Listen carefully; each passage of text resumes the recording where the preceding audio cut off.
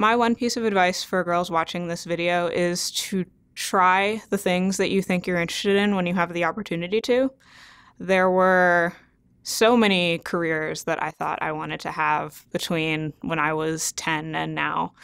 And the way that I figured out the ones that I didn't and did want to do was by trying them. So for a really long time, I thought I wanted to just get my bachelor's degree, go work in the pharmaceutical industry. I spent a summer in the pharmaceutical industry and I hated it. And that was how I learned that I didn't want that job.